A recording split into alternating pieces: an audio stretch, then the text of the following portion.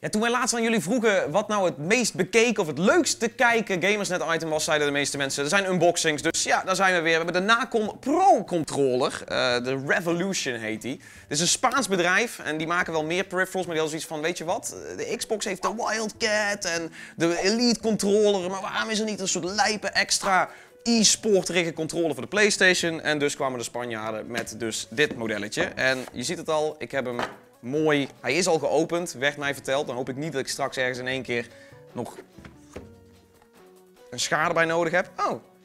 Oh. Nou, dit is hem, jongens. Ik vind hem, hij is niet zo heel ge- gedefinieerd. ah, kijk, daar gaan we. Hoppatee. Dit is de controller en je ziet het al, het is wel echt de PlayStation controller, want PlayStation logo en er zit zelfs een touchpad op. Welke game gebruikt hem nu nog? Maar goed, hij zit er wel op. Ehm, en het leuke is, de layout is natuurlijk ook een klein beetje anders, aangezien de layout, kijk naar die pookjes, dat is definitief een eh, Xbox layout eh, met de linkerstick hoog in plaats van de D-pad daar. Ehm, maar goed, in elk ander opzicht heeft het wel een aantal leuke extra features, zoals ook bijvoorbeeld die extra klikkertjes, de extra trigger op de achterkant en een los te koppelen kabel. Want de e-sporter is natuurlijk altijd on the move, moet altijd weer naar een nieuw evenement om ja, eh, toernooien te winnen en bitches te scoren. Eh, dus die kabel die kan losgekoppeld worden, wat op zich wel handig is voor als je toch op reis gaat met je controllertje. Gaan we even kijken wat er nog meer allemaal in het pakketje zit, want dit is de controller zoals hij is. Je zult straks ook zien als hij aan is, dan wauw, gaat deze ring hier licht geven. En dan kun je dan ook aanzien van welke soort van instelling je op die poke hebt staan. Maar goed, dat gaan we straks ontdekken. Eerst even kijken wat er hier nog allemaal meer in dit doosje te vinden is. Ik zie een plug. Dit, ja, dit lijkt een soort vieze plug, maar ik denk dat die dan... Die moet als een soort zekering hier overheen, denk ik. Ik weet het niet zeker, maar ik denk het. Ehm, misschien moet ik de boekjes er ook zeker even bij houden. Dat, ik denk dat dat wel verstandig is.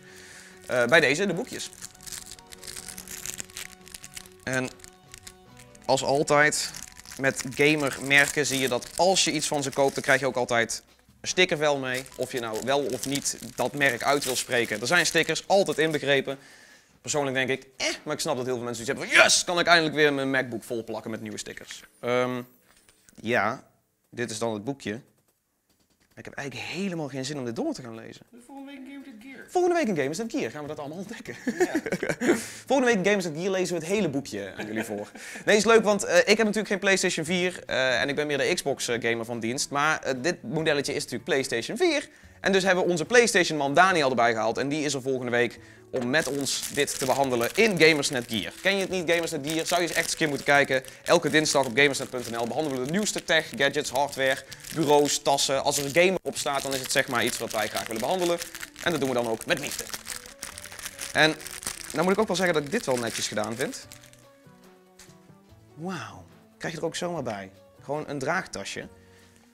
En een doekje om hem schoon te maken, wat ik nou laat vallen. Dit is trouwens wel, dit is wel heel chic de friemel. Dat je ook gewoon een dedicated doekje krijgt om ervoor te zorgen van... Oeh, oeh, zo, even die Doritos vingers van mijn touchpad afhalen.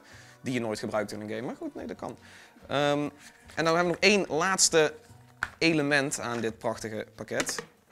Sluit ook magnetisch, dit doosje. Ik zou hem bewaren. Als ik, als ik dit, die controle zou kopen, zou ik het doosje bewaren. Het st- staat toch wel mooi. Ik neem aan dat dit de draad is, maar hij voelt vrij heavy aan. Dus ik weet niet of de kabel enorm lang is of gemaakt van lood of zo. Dat gaan we nou ontdekken. Oh. Oh nee, maar natuurlijk! Ik had het over lood. Dan krijg je lood. Dit zijn namelijk de bijbehorende gewichtjes die in het uiteinde van de controller kan. Nou moet je die dus openbreken met iets. Met dit ding. Dan denk ik dat het een draaibeweging is of een plopbeweging. Het is een... Het is een... Ah, nu kan ik het eruit janken. Aha. Dus dan zeg ik nou gewoon van... Ik wil deze en ik wil die. En dan schuif ik hem er terug in, geel. Oké, voelt een klein beetje priegel aan her en der, maar wacht. Rechtsom. Rechts, rechtsom, righty tighty, lefty loosey. Rechtsom toch? Ja. Ja, oké, ja. Oké. En nu zul je dus zien dat... Helemaal uitgegeven. Wow, helemaal, hij is helemaal uit balans. Nee, nou ben ik beter gefocust op mijn movement, omdat daar zit meer gewicht in. Dat is logisch, toch? Ja, ja. Maar dat kun je dus allemaal mee doen. En hoe die nou uiteindelijk echt gamet, dat gaan we dus straks ontdekken in Gamersnet Gear. Eh, en ik neem aan dat eh, Daniel dan ook wel lekker... Ja, hier gaan we leuke photoshops van maken.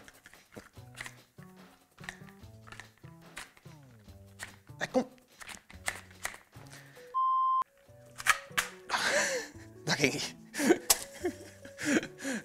Maar goed, de Gamers Gear gaan we dan ontdekken eh, wat, eh wat Daan ervan vindt als hij gaat gamen. Ik neem aan dat hij lekker aan de slag gaat met die gewichtjes en zelf gaat ontdekken hoeveel gram hij in elke hand wil hebben en hoe hij dan het beste Battlefield speelt of zo. En eh, nou was natuurlijk een deel van het gewicht was die lode gewichtjes, maar ik moet ook zeggen dat dit wel echt een aardig ferme kabel is, USB 2.0 en dus hierop te bevestigen met een schroefdraad en wel, mits die past. Ik... Oh, wacht, er zit een heel klein inkeping op en dan, ja, daar gaan we. En dan draai je hem ook vast, zodat hij goed bevestigd zit. En hij tijdens je rage-sessie niet het raam uitvliegt. En dat zou voor Daan zomaar eens heel handig kunnen zijn. Maar goed, dan heb je wel flinke kabel. Minimale latency. Ik ben helemaal voor. De Nacon Pro Controller. Bij deze, dit zit er allemaal in de doos. En eh, aanstaande dinsdag eh, kun je hem ook zien in Gamersnet Gear. En dan heeft Daan hem uitgebreid behandeld. En misschien gaat hij het ook nog wel weer streamen. We zullen het zien. Maar ik ben in ieder geval benieuwd hoe dit ding gamet. En of PlayStation 4 nou eindelijk iets meer pro gaat. Want kom op, Sony. Jullie lopen echt achter met die controller. Kom op. Kom met me. Kom met me. Kom met me.